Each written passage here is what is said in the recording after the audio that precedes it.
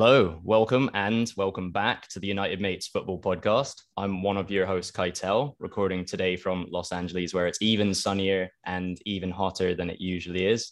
Joining me on the call, as always, is my co host, Joe, who's back in our hometown of London. Hiya, Joe. Hi, Keitel. Good to be chatting again. First time we've done one of these in a while. So, yeah, ex- excited to get going, really. Absolutely. We do, as usual, as well have a special guest for the podcast. He's joining us from Senegal, which is a first out of the 97 guests that we've had on this pod so far. But 97 will be a very unimpressive number for today's guest, however, as he was part of the infamous Reading side that smashed the 100 point barrier to gain promotion to the Premier League under Steve Coppell back in 2006. Having played in France before then, our guest would go on to play for a few more famous English clubs and then make the move to Turkish football until rounding out his playing career with a return to the English game, this time at a non league level. Four years on from hanging up his playing boots, he's worked as a pundit and runs a football academy back in his native Senegal, as well as an agency for up and coming footballers needing representation. We welcome Ibrahima Sonko to the United Mates Football Podcast. Ibrahima, it is an absolute pleasure to have you on the pod with us. And how's it going, mate? I'm all good. I'm all good. Thank you for having me. Yeah, it's our pleasure, as I was saying. Um, Joe, as we record, we're only six games into the new Premier League season. Ibrahim, I'm sure you've had your eyes on on that football as well. My beloved Arsenal sit at the top of the table just about with City and Joe, your lot Spurs just a point behind in second and third.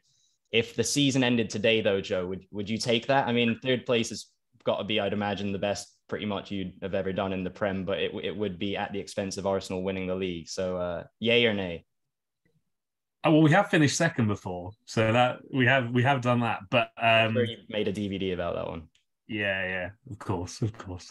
um, no, I can't can't have Arsenal winning the league, so no. But I mean, you did lose to Man U on the weekend, so hopefully the bubble has um has burst. We shall see, we shall see. But yeah, good start for Tottenham. I cannot complain. Um, it's an exciting time to be a Tottenham fan. I'm not going to lie.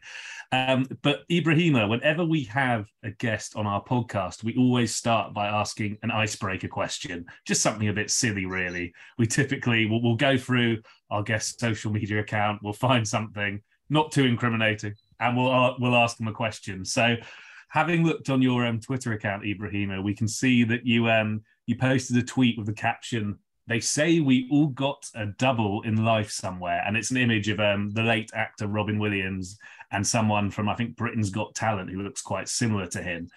Um, so we're going to give you time to answer this, Ibrahima. But what we want to ask you is, um, who have you been told is your lookalike, or who um yeah who who have you been told is your doppelganger, as it were, um your your lookalike? Um, Kai, I'll ask you first. Um, who is your lookalike or doppelganger? We're talking football. I you know heard all of the skulls and whatnot when I was a kid, but that was more kind of jokingly. Although honestly, when I was a kid and I did have shorter hair, Steve Sidwell, one of Ibrahima's former teammates, I, I looked quite a bit like, to be fair. Um, if we're taking it away from football, though, just a name that people have told me that I look like. There's a, a rapper called uh, Lil Dicky. I wish that wasn't his name, but um, people tell me I look like Lil Dicky. Uh, Joe, I, I, seem to remember you getting called out as, as Roman Pavlyuchenko uh, once upon a time back in the day. But besides him, who, who's your doppelganger? Yeah, I mean, Pavlyuchenko, I think it was just because he had blonde hair and I did, and I was a Tottenham fan. I think that was where, I mean, I, I did love Roman Pavlyuchenko back in the day, to be fair, so I'll take it. Uh, I don't know. Insert any generic person with a beard and blonde hair. I can't. We'll stick with Roman Pavlyuchenko, you know, for the time being, even though I probably don't look anything like him now. Um, Ibrahima, you've had a little bit of time to think. Is, is there anyone that you're often told that you look a lot like? Um, I would say a bit younger. I was, I was a bit wider, obviously, in my playing days and everything. And um, I used to love the shirt with uh, you know, with no sleeves and everything. And I used to, I used to love like to show my arms and everything, you know, uh, tattoos and everything. And I always had uh, short hair, bald head, and people used to say, "You look like Tyrese." From the Fast and Furious movies, he's a good singer as well. That's not, that's not a bad one. I think he's. I mean, I'm sure he's must have won like sexiest man on earth at some point. Like the, the ladies definitely love Tyrese, so you, you could be doing worse than uh, than Tyrese Gibson, to be fair. Um, so yeah, but if it comes to football, I think uh, people used to compare me to Darren Moore. You know, I mean the big, big, big fella. You know, bullhead. You know, and just you know, yeah. So. Uh, yeah, and I remember Joe telling you quite excitedly that I bumped into Darren Moore and the rest of the Derby squad. I think it was uh, Luton Airport once upon a time. Where I think that was pre-season for that infamous. Um, how many points did they get that year, Joe? Oh, it was. Did they even make double points? Uh, like eight double figures, like that. Anyway, so you've got yeah. a much more kind of um, well-established Premier League career than than Darren Moore. No disrespect to Big Darren. Um, but anyway, moving on from lookalikes and uh, sticking with football. Um, with all of our guests, we we like to get an understanding of how football became such a big part of their lives in the first place. Um, I started playing it uh, at school to kind of fit in with, with a new friend group. Joe has some professional football heritage, as uh, Mourinho would say, in, in his family. Um, but Ibrahima, what is your football origin story, so to speak? I know you're cousins with one of my favorite former Arsenal players, Bacary Sagna. Did uh, did you two play together back in in France? Basically, you know, what are your early memories of, of watching, playing, and supporting football, Ibrahima? Yeah, Bac- Bacary is quite yeah, about six years younger than me, so uh, we didn't have chance to play uh, with uh, in the same team or anything like that. You know what I mean? But um, yeah, no, I think well, from my parents' point of view, you know, I started walking because of the football. You know, I was uh, back in Senegal when I was born, and I went for holiday, and uh, I was still little, and uh, the, the boys were playing in a in the courtyard, and the ball rolled up to me, and I hold the ball, and that's when I first stood up because I used the ball as a stand, standing, you know, to stand up and everything. But yeah, that's my parents' point of view, and uh, and me, I think it's just like one of these things, you know, like.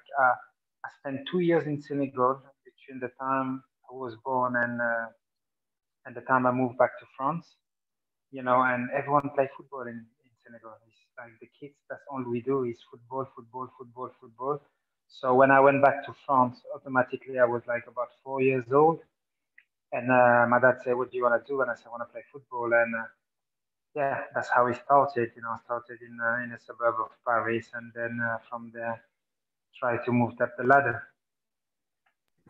Fantastic. Yeah. And you, I mean, you wanted to do something and you certainly went and did it. But um, let's actually talk about um, your early career, Ibrahima. So I know you sort of you were in the academy at a couple of teams, um, and but then you'd start your professional career at Grenoble, and you'd um, you'd get promotion from the third tier, which I think is the Championnat National, and then you'd play a, a year in the second tier as well, Ligue 2.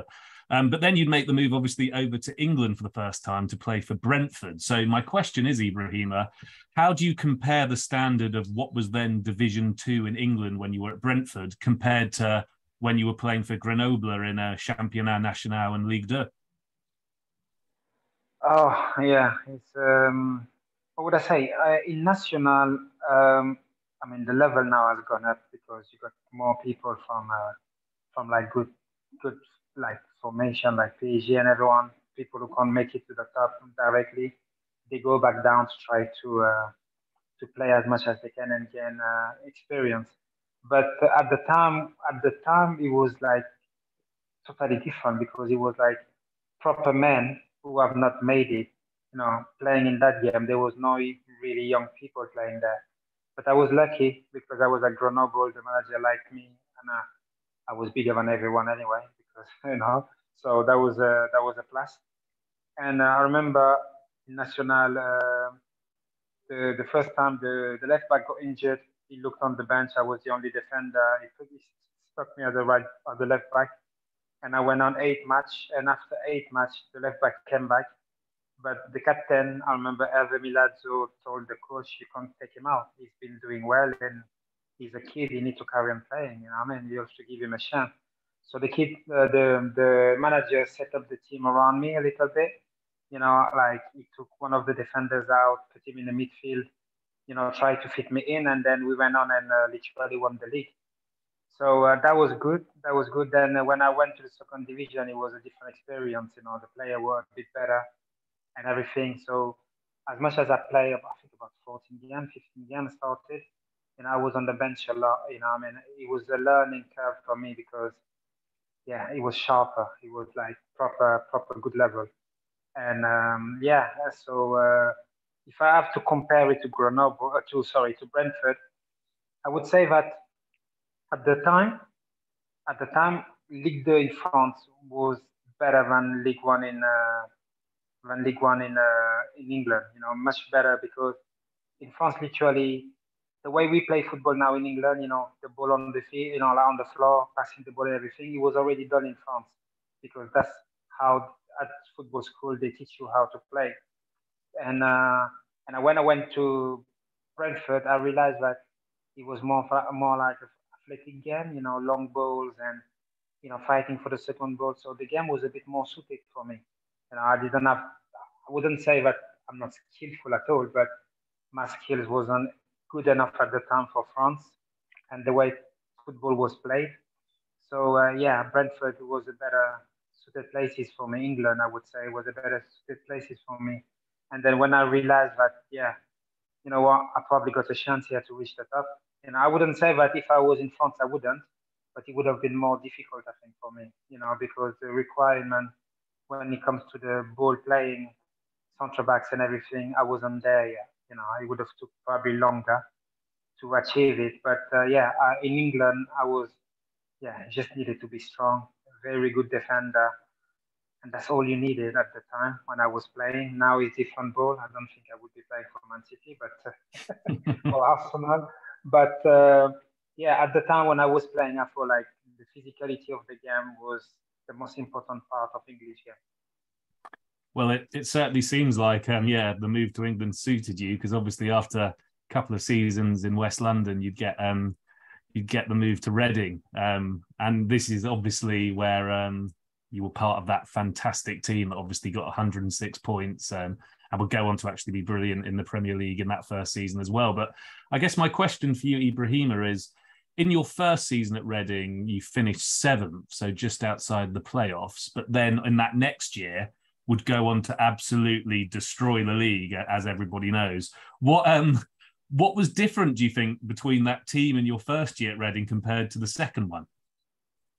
Well, when I first got to Reading, I think it was Ivar Ingimarsson and Adie Williams playing.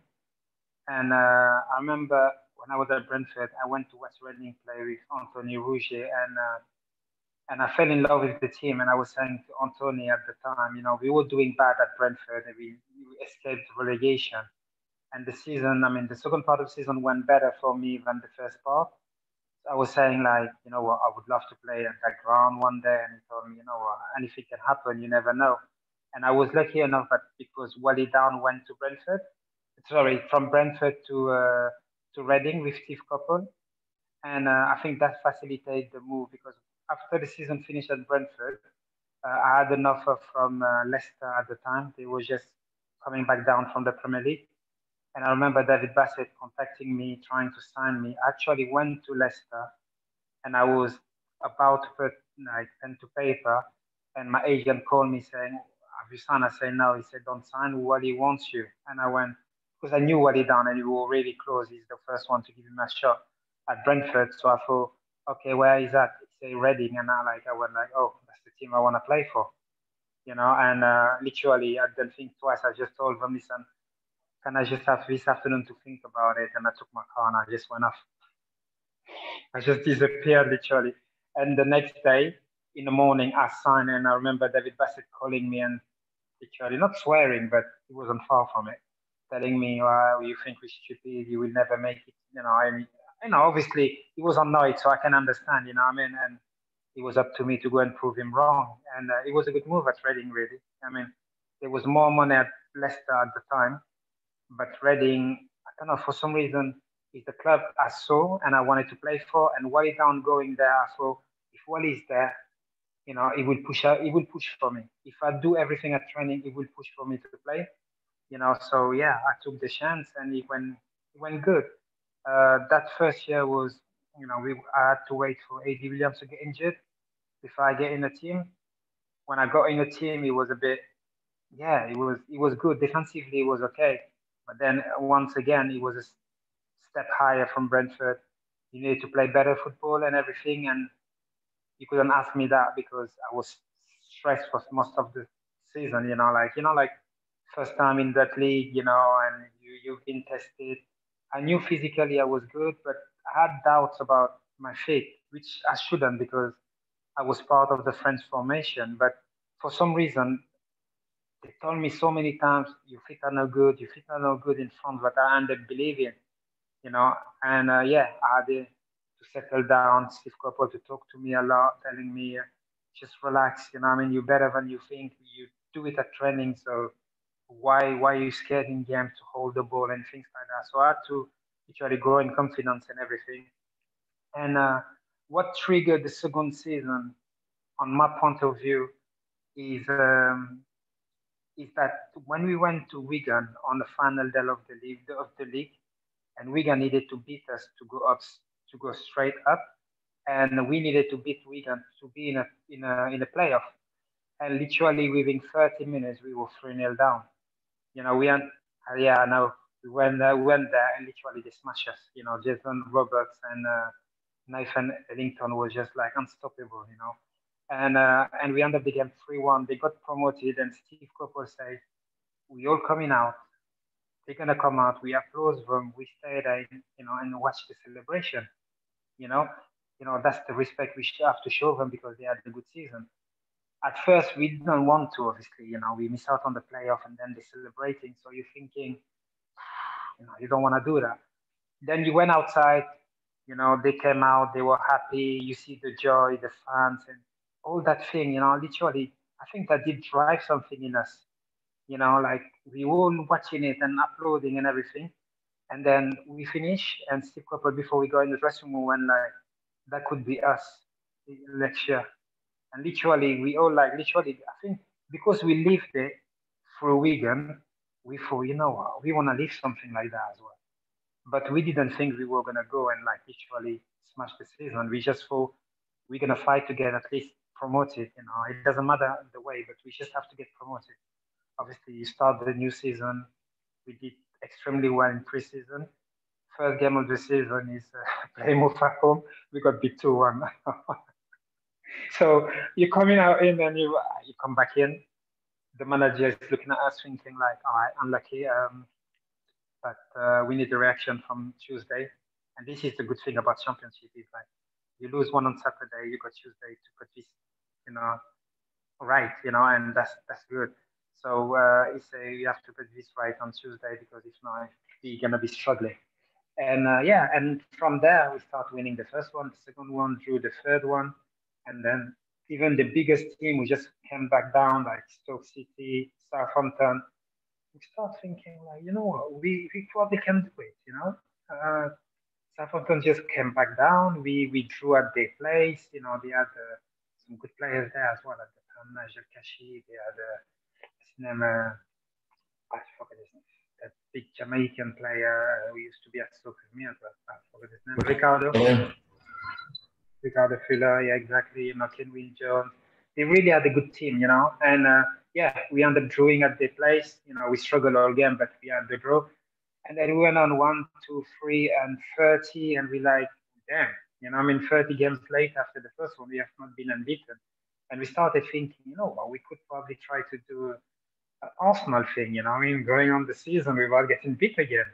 And uh, unfortunately, on the 33rd one, we lost at Luton, you know, uh, you know, 3 2. Um, then we thought, okay, it's not a problem now. It's just about promotion because we were in a good place. And then we went on and went on. And I think in March, in March we played Leicester, and uh, from that game there was about eight games left, and we got promoted. You know, and then when we got promoted, the manager said we we have to show respect to the league because there is a lot of people still playing in the league and playing for their position. So we have to finish the league the way we started the league and then we were like, you know what, we want to go and beat any record we can beat. You know, so we were going after anything. You know, like every single point we wanted. You know, and then we went on on, on the last game of the season, knowing that if we beat QPR, we beat we we're gonna beat uh, the record from uh, Sunderland. You know, 105, I think they used to. And uh, yeah, so we went there scored 99 goals, only 24 goals conceded, 24 clean sheets. It was just a, a fabulous season. You know, like nothing you can say. But like I say, what triggered it, I think, is that deception we had at Wigan. You know, and at the same time, you know, they were we were happy for them because we had friends there playing. But obviously, on our side, it was just like, you know what, we need that kind of emotion, just like them it's always impressive when you can use a disappointing moment as a as a learning moment as a, as a springboard to kind of um, build new success off off of. Obviously yeah congratulations to Wigan from that season prior. You mentioned the likes of Jason Roberts and, and Nathan Ellington. You know it didn't hurt either that you had players like Leroy Lita and you know um, Shane Long and Dave Kitson and Kevin Doyle as well firing you guys uh, towards promotion. Um, the the following season. And it sounds like yeah, mentality had a had a big part to play in that, and that probably Steve Coppell was was the right guy to kind of get you guys into that positive headspace um, to push for that success and for that record breaking 106 uh, points, which you went on to achieve. And of course, that earned you the right to play in the Premier League the following season, um, which would have been you know quite a time to be a Reading player, quite a time to be associated with the club whatsoever. Um, but speaking you know towards the experience you had on the pitch in the Premier League. Who who was the most difficult player for you as a defender to come up against in that first season? Who, who gave you the hardest time? It's uh, it's it's a funny one because uh, I always say that at the time the one who annoyed me the most was probably Ole Gunnar Solskjaer, but I think it was because the manager because the manager decided to play us as a 1v1 situation all around the pitch. Everyone had a player, and uh, we had to mark him. And Solskjaer was just annoying me because he was taking me places I didn't want to go. So he realized after five, 10 minutes that I was following everywhere. And literally, the ball was in front of my goals, and uh, I'm having to watch everything's happening from the midfield, from the middle of the pitch. You know, so I was out of position all the time. He's just like literally looking at me say, "Are you following me?" I say, "I'm marking you." Okay, and he starts just walking away from the ball.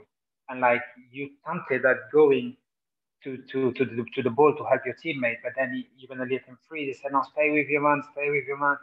And I ended up like for literally 30 minutes. And the only time I decided to go and help someone, he went in the box and scored.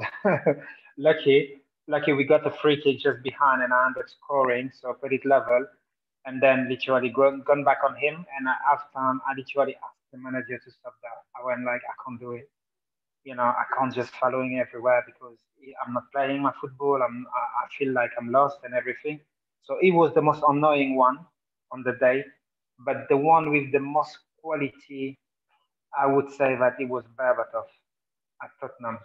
He was, uh, he, uh, he had everything. He had like literally everything. I did not know how to stop him. You know, uh, Torres, you know, Liverpool, you thought, okay, if I can close down the space, you know, he can't run. And I was quite quick at the time, so it was okay. You know, uh, Drogba was strong, but I wasn't bad as well. So it was a good fight. You know, uh, when Rooney at United, you know, Cristiano Ronaldo, you know, Cristiano was playing on a in a, on a right on the right side, so uh, it's different for Cristiano. But when Rooney was strong as well, but Berbatov, Berbatov was just like literally, um, literally, uh, literally like one of the best I, I, met on the pitch. You know, you know, he's one of the best I met on the pitch.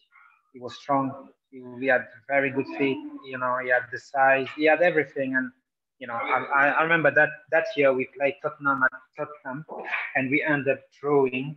We ended up.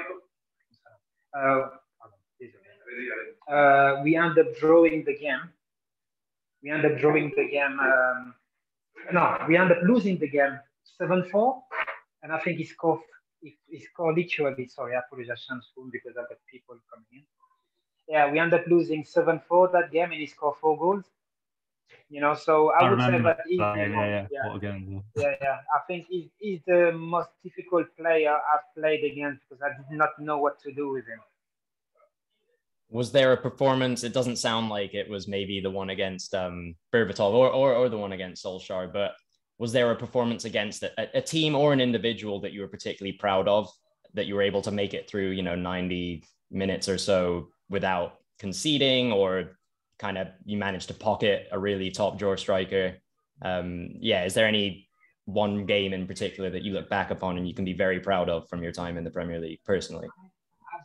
From our time in Premier League, I think we had some amazing strikers in the Premier League, like literally like amazing strikers, you know, Torres, Drogba, Wayne Rooney, you know, and Berbatov. You know, really, it was just, uh, yeah, it was just a fabulous year for football in England.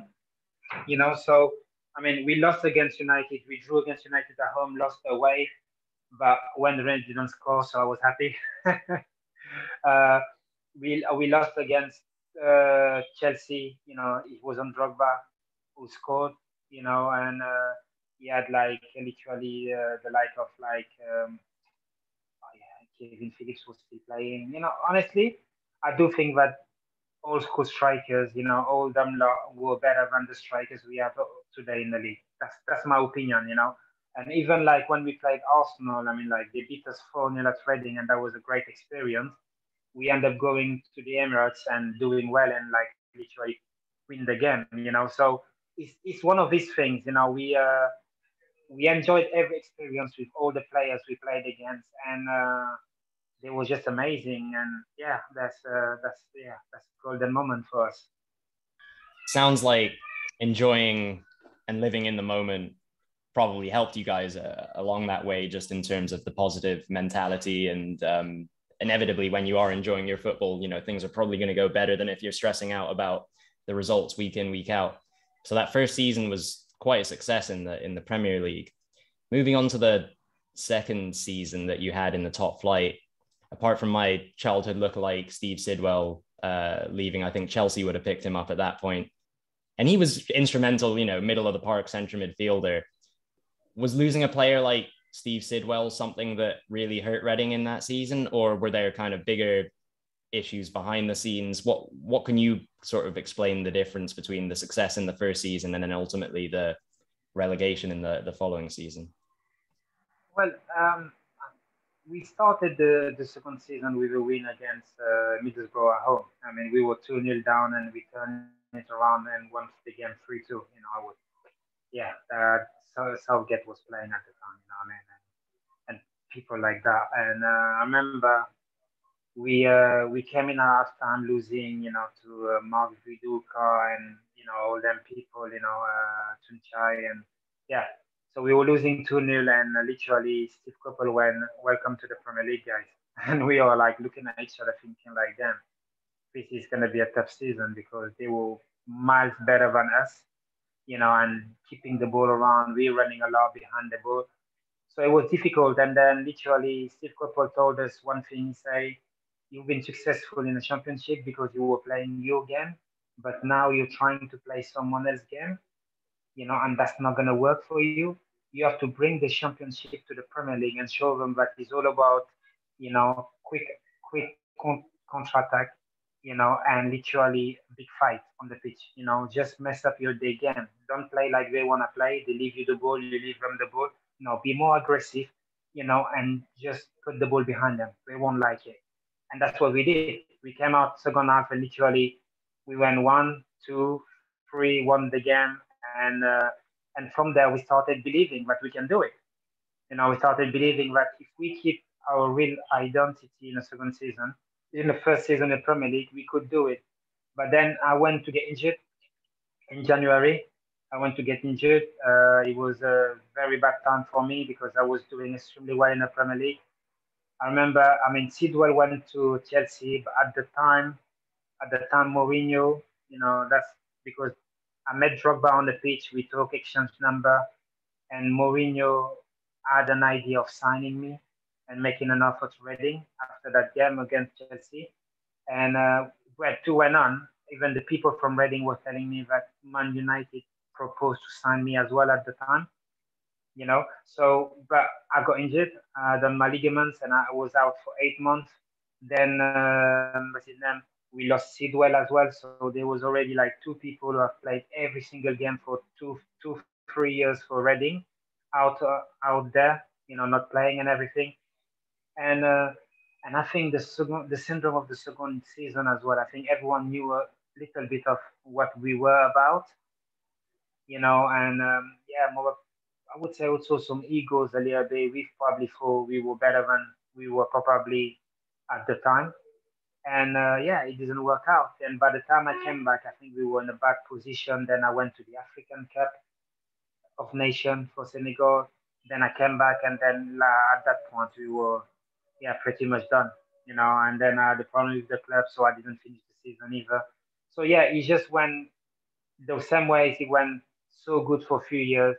In one season, everything went so bad, and yeah, we ended up going back down, you know. And from there, I parted away with the club, going to Stoke, you know, and more people started leaving. But yeah, the the boys who were below, you know, information at the time at the time where we were playing came in and know and put back at Reading's fan. Yeah, I guess all good things must come to an end, and that fantastic Reading, team did well for so many years, but unfortunately, yeah, it didn't didn't quite work out in that second season. But um, that did obviously lead to a new opportunity for you, Ibrahim. You'd go to Stoke in their first season in the Premier League. Um, they were obviously managed by Tony Pulis.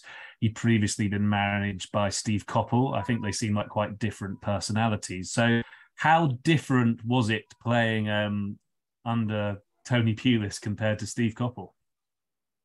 Well, it's like, I don't know, uh, the world now, people are driving electric cars and, uh, you know, they're all quiet you understand? I mean, they all quiet, nice and everything, but they still very effective. And on the other side, like having a a, a V6, you know, like as soon as you touch the pedal, everything is like all noise and everything. And that was two different characters. Steve Coppell was so quiet, you know, and he always had the right word. I think he only only lost it one time, you know, in my four years of playing for him and that was uh, we played. Uh, who was he again? Oh, strangely again, he was Plymouth away. We played Plymouth away, and uh, we were losing two nil half time, and literally he went in, and that was the first time I heard Steve Coppell swearing. You know, but we we weren't playing, and literally us getting direction from him, uh, drivers to go and get the draw in the second half. You know, but it was the first time I saw Coppell literally shouting at us. And on the other side, yes, Tony Pulis, you know, whom you can hear on the side of the pitch with like 60,000 fans, you can still hear it. you know, so, but uh, yeah, two different managers. Tony Pulis was all about tactics and um, he was very working on tactics, tactics, tactics, tactics, and nothing else. You know, uh, and uh, on the other side, Steve Coppell was more about like literally, we have a style of play. You know, we're gonna adapt to what how they play, but you're gonna play that way as well, you know, and every game could be different. This team is like that, it's like that, so this is the way we're gonna be playing. And yeah, so it was different, but it was really educative for me. It's interesting that you mentioned there uh, about Steve Coppell kind of having the the Reading identity. Of course, you're going to approach different games differently against different teams, but from my perspective as, a, as an Arsenal fan and maybe from other Premier League football fans who were kind of uh, rudely surprised by some of the success that Stoke did have early on in the in the Premier League, and a lot of that came down to the atmosphere at the Britannia Stadium, but then also Tony Pulis and Stoke's tactical approach, which seemed like anti-football isn't necessarily the right word because there were some good footballers in that team. Um, Dean uh, Whitehead, Liam Lawrence, um, uh, Glenn Whelan, like they could all get the ball around the pitch quite well, but beyond that, obviously Rory Delap's long throws were a bit of a, a, a big part of um, some of the goal scoring in particular that that Stoke had uh, that season. Did it again from the outside seemed like Tony Pulis was literally probably you know on the training ground preparing you guys to make life difficult for the opposition. Did he did he give you instructions to specifically kind of rile up the other team because the gap in technical quality might have been between your, the likes of Stoke and Arsenal and City, um, a bit of a big gap. Did he tell you guys to kind of upset the opposition players? Actually, he never did something like that. He's, uh, yeah, uh, I know people were saying like we were aggressive and everything, but I think we just like it's literally like you know you've got dogs. You know, I mean, if you're an aggressive person, your dog will be aggressive. You understand what I mean? And us having Tony Pulis always being aggressive on the on the side of the pitch at training, You know, literally when he wants something, he would scream, "What are you doing? Get in there!" You know, and everything. So literally, you just play the football he wants without literally him having to say, you know, go and smash someone. He just say, "Why did you not get the ball? Why did you not get it?" You know, I don't understand. It's a one v one. Is you know, it's you against him. Why don't you get the ball? And like literally, you fall on the next challenge. I make sure I get it because if not, it's gonna be on my case. And that's the way we used to play football. We were just literally one-sided team. The goalkeeper got it. Everyone goes up in one corner. We get the second ball. You know, and literally second ball is not even is is if we can is have a touch. It goes wide for a cross. If not, just put it back in. You know, the defenders we weren't allowed to play from the back. It was just now you got it, channel ball, or if not across the pitch for the big fella. That was only that, you know. But that's that's Tony Pulis' way of playing, and you know you adapt to it. At first, I, I, mean, for someone who's not that technical, I thought it was still strange to play only that kind of football, you know, because with Steve Coppell, literally you express yourself slightly a bit more you know, you still guided on what you're doing and how you do it because you do exactly the same thing. But it seems like with Coppell was playing a bit more, and uh, with with uh, Pulis wasn't the case. He was just like literally, this is the way I want to play. I want to put pressure on the team. I want to play high up the pitch. I want all the second ball literally to go back in. You know, and literally, you know, it's just like yeah, yeah, you just have to grind them until they literally give up, and that's the spirit we had with them for many years that's why he did well. Uh, it's not far from Sam Allardyce if you think about it, and uh, he wasn't far from Sean you know, for years in at Burnley as well, and they got success from it. And because he was saying that every single teams who gone up from Championship to the Premier League, as soon as they start changing identity, they fell. And literally, he went on with six, seven, eight seasons at Stoke, doing well in the Premier League. Sean did the same thing, and he did well and soon as people start chanting a little bit, and yeah, the, the result goes the wrong way. So yeah, that's how they know. That's how uh, they were as a manager. Who can blame them? They were so successful, you know, for them, for themselves, and for their team. So yeah, that's that's cool. Yeah, if it don't, if it ain't broke, don't fix it. Clearly, uh, Tony Pulis sub- subscribed to that, and he he managed to put Stoke on the map in a in a big way in those early seasons in the in the Premier League and you and your teammates definitely managed to make life difficult for a lot of really, really good footballing sides along the way. Um, while you were at Stoke under contract, you had a couple of loans to uh, to Hull City, to, to, to Portsmouth as well. Some some more big clubs. I know in particular at, at Portsmouth, it was kind of a, a, you know a difficult time. You mentioned nearly joining Leicester once upon a time. I know they had to go way way down to come back up. Portsmouth are you know still in the midst of, of coming back after having um, suffered financially off the pitch, and that that led to results on the pitch, kind of taking them down the football league a bit. Um, but but after your time with Stoke came to an end, you would join Ports, uh, sorry, uh, Ipswich rather at Portman Road. I was going to say uh, for a season, and then beyond that, you would move to Turkey and sign for. I'm going to try to say this properly. Akhisar Belediyespor. Um, that's probably as close as I'm going to get.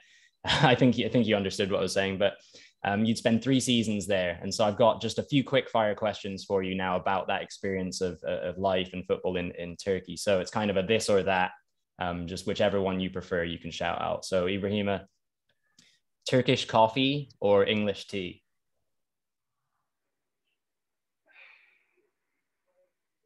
I would say English tea. English tea. There you go. I actually I, I, like that really strong Turkish stuff. It's like it's like black tar almost in just like a little little cup, and it, it kind of yeah, caffeine levels in there through the roof. Um, sticking with kind of food related stuff. Actually, the next couple of these are going to be down that route. Uh, Turkish delight or trifle. Did you ever come across trifle during your time in England? Uh, I did. I did. I, I would. I mean, as much as Turkish delight is too sugary for me, I will go for Turkish delight. Turkish delight. Okay, all right. So it's kind of one all right now in terms of England versus Turkey in this game. Um, let's see if we can uh, tip the scale one way or another. Baklava or back of the net? What's better, that pistachio, honey, phyllo, delicious pastry dessert, or scoring a goal? I think scoring a goal. Okay. So back of the net over baklava. Fair enough. and then just one controversial one, I guess, to end on, even though you didn't play for either of them. Let's go with uh, Galatasaray or Fenerbahce. Tough one. Tough one. Uh, I, I would. I don't know. I would go for for Gala.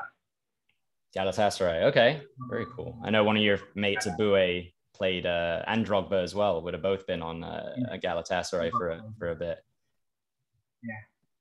I guess just nice. before um, we move on to w- one more question about kind of like life in Turkey, briefly, could you explain the difference between we've spoken about France and England? Uh, how about England and Turkey? What would the major difference between the style of football be in those two nations? Oh wow, uh, there is too many difference between them two. Is Uh, first the way they approach the game, the way they train, everything is so different. You know, it's all, everything is so like relaxed. You know, you go for like about ten years in England where like everything is about you have to train hard, you have to work hard, you have to you know I mean you have to grind, you have to do this and that and this. And then you come to Turkey, they say, oh, relax.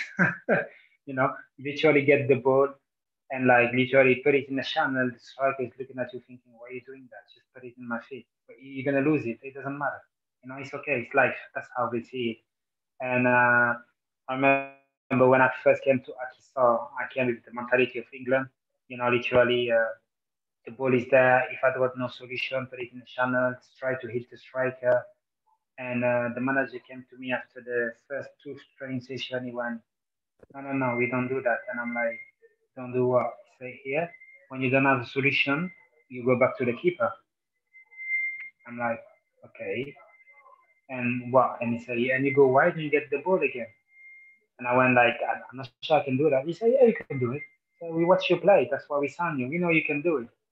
And I'm like, so it took me about two, three weeks, you know, to literally think, okay, you know what, he's probably right. I can do it. You know what I mean?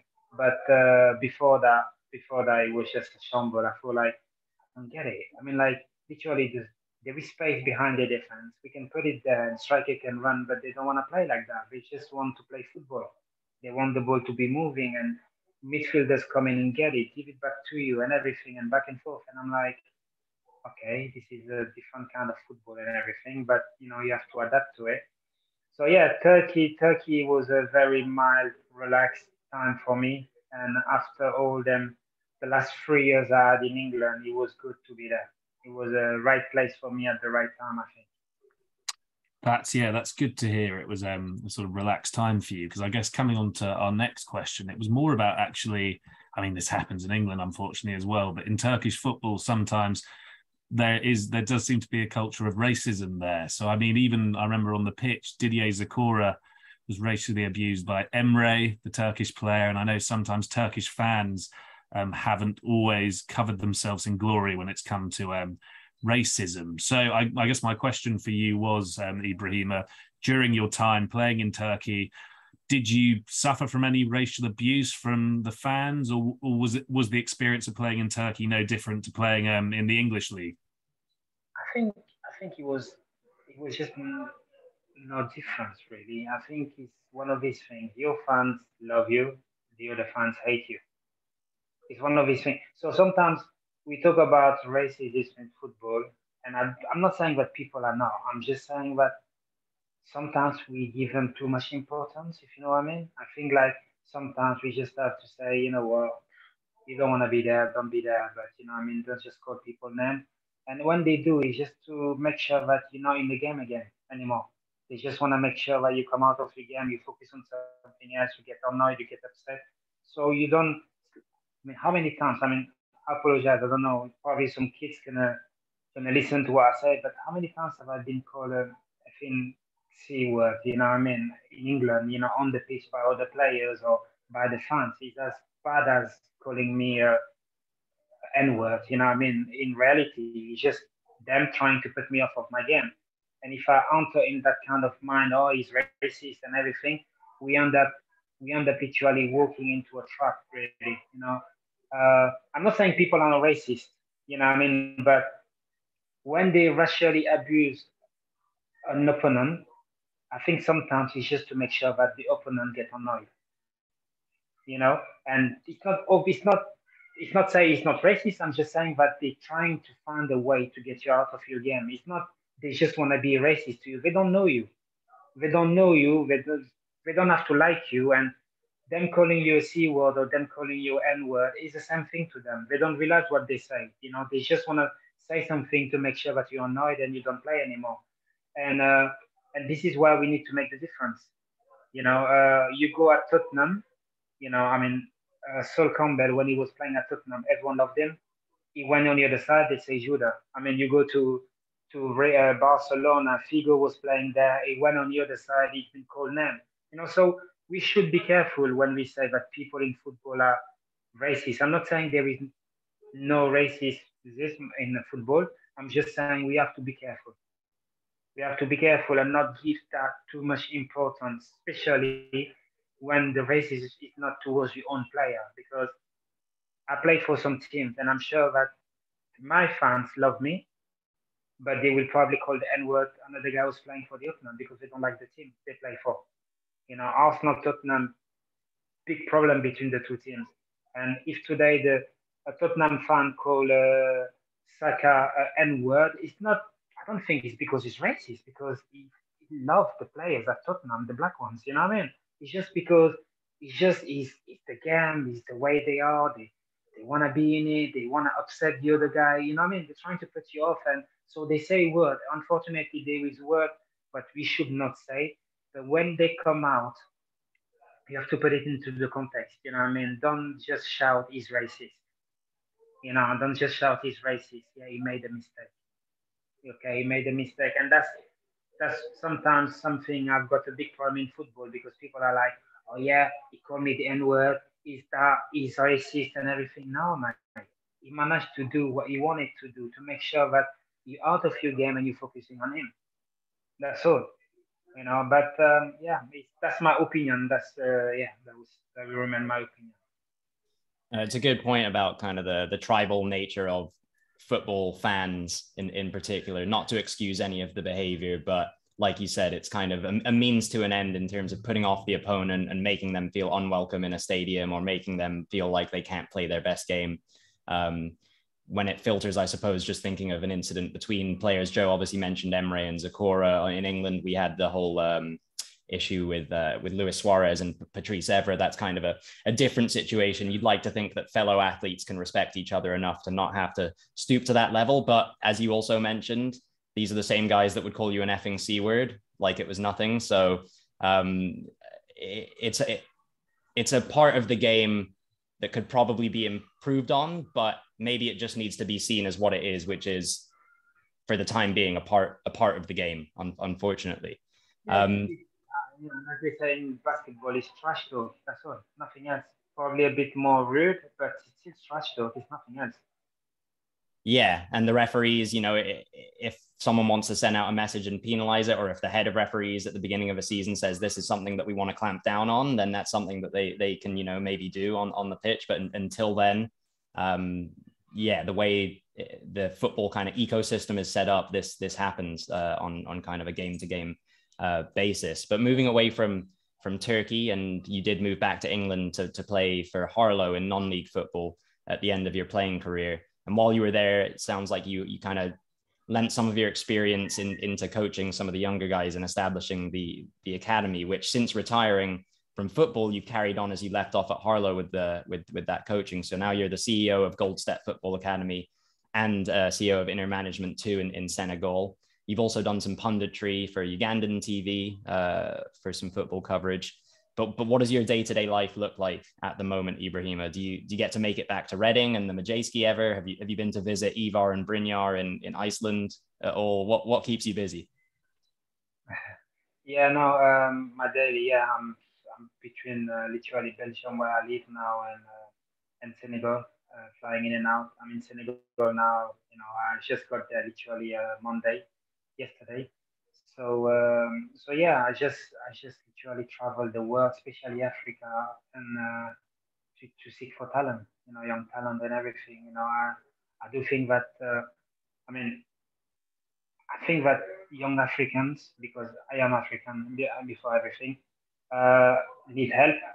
You know, because the, the condition uh, the condition they have here, life is very difficult for them, and uh, football is, uh, is an escape for them. So uh, we kind of try to bring as much as we can in Europe, the the better ones, you know, the one we can help. And at the same time, I got my academy because I thought uh, where I got my academy is just social really. You know, um, it's like uh, the suburb of the of Dakar. You know, people are very poor. You know, the only thing they got is football. Uh, kids are not going to school. You know, so I created that academy literally to give them a structure to not have anything to do all day and end up on the street doing nothing. So uh, we got that academy, and I think we had about 90 kids, you know, playing football like all morning, and uh, that, that's that's that's cool. That's cool. I'm I'm here now because uh, we getting a, a club. We're gonna buy a club now, and we're gonna try to take it a bit more serious. So um, I'm probably going to be leaving the agency world because obviously I'm going to be a president of that club, so I won't be able to combine the two work. And uh, yeah, um, yeah, it's a, it's a different thing, but that's my daily really. I just go around, you know, and watch football most of the time. You know, Belgium, England, and everything. So that's what I do. When it comes to Reading, I'm still in good terms with them. I'm actually going back there on the 25th of this month uh, to watch them play. But I was there in July. We played a friendly game, you know, uh, with the old 106 team and uh, the second team who got promoted. So yeah, she's contacting them a lot. I still follow them a lot. You know, still a big fan of them. So yeah, no, that's cool. That's cool. That's what I'm doing. Is everything I do is related to football. It's uh, it's been like 30 years of my life, so uh, it's very difficult to give it up. Oh, I'm sure. I'm sure it is, and it all sounds very exciting, Ibrahim. I hope all goes well with um, this club that you're going to be getting involved in. Um, Spurs have a young Senegalese player at the moment called Pape Matar Sarr, who I'm excited about. But I wanted to quickly ask: Are there any um, up and coming players that you're working with um, in Africa at the moment that you'd like to name drop here? Anyone we should be looking out for the next stars of the future? Uh, there is a there is young uh, Liberian striker from Liberia, and uh, he's a bit like Osimhen the way he plays. You know, he's very quick, powerful, and uh, I think he's got a good chance left-footed. Uh, I like him a lot. There is uh, in Senegal there is a young right back, and I really think he's he's top class. You know, and uh, I'm like I try also not to get people to buy him, but they all I mean, every every club I talk to is really good, but right now we don't need that position. He's just 18. He's actually at the African Cup for Senegal now, U20, and uh, I really do think that he's going to be one of yeah one of the best right back I've seen for a long time. You know what I mean? So. Uh, so yeah, in Africa, that's all for me. Really, they, they, they're the two I really think that they will. I mean, we got all the players who I think they will have. They will go on and have life, you know, in football and be successful. But them two are proper, proper class, you know what I mean? So hopefully I'm trying now to get them to England because they both 2004, so they just uh, to England, sorry, to the world because they just turned 18. But uh, them two are really good, really, really good. Fantastic. Well, I hope to see them both at Tottenham in the um, not too distant future. We'll see. We'll see. But that's um, that's a good place for us to end um, the interview today. So yeah, um, from both Keitel and myself, a massive thank you to you, Ibrahima. It's been so much fun speaking to you, and it's been really interesting too. And just before we end, Ibrahima, um, how can um, our our listeners best follow you? Do you have any social media accounts for any of your business ventures or for yourself? What's the best way for people to keep in keep up to date with Ibrahima Sonko? Yeah, I mean, uh, for a time I was a lot on Instagram lately, not, you know, for the last four, five, six months, I've not been on Instagram. Uh, Twitter, but I'm not really posting anything. I just read the news. but uh, with the new project, we uh, we just gonna literally try to take it like another dimension because I've got as partner I've got uh, Papis Demba the old Newcastle player, and uh, yeah, and we really trying to build something special in Senegal. So uh, hopefully we will uh, will we'll have an Instagram for that team and everything. And I think that's when we really going to be active on the social media. But when it comes to personal stuff, you know, my wife, I would say follow my wife because she posts she posts more of myself than anyone else in the world. So uh, yeah, but that's it. That's that's pretty much the whole thing. Well, thanks again, Ibrahima. Best of luck with everything that you're up to on the, the football scene in, in Senegal. It sounds quite exciting for you at the moment. Um, good partnership uh, as well between you and Papis um, getting involved in this club. So I'm sure you'll have uh, success. Probably no no betting company as the sponsor on the kit. Uh, I'm sure Papis won't mind me referencing that. That was a bit of a, a saga during his time uh, in England. Um, but best wishes as well to uh, to your family, to your wife, um, to the rest of the family, Ibrahima. For our listeners, if you enjoyed this podcast, as my dog for the first time uh, chooses the end of the podcast to make a bunch of noise, yeah, please stop. Thank you. Um, but uh, as far as our listeners, if you've enjoyed this podcast, please do subscribe wherever it is that you like to stream your favorite podcasts. Just search for United Mates Football Podcast on Twitter, Instagram, and Facebook. We are at United Mates FP. So give us a follow on those too. And if you feel like putting any faces to these voices, you can also find us on YouTube. Just look for the United Mates Football Podcast. Don't forget to subscribe while you're at that. For everything in one place, we've got the website unitedmatesfp.com. Until next time, everyone. I think my dog will make an appearance. Come here, baby. Here it comes. Yeah, there's the big boy. All right.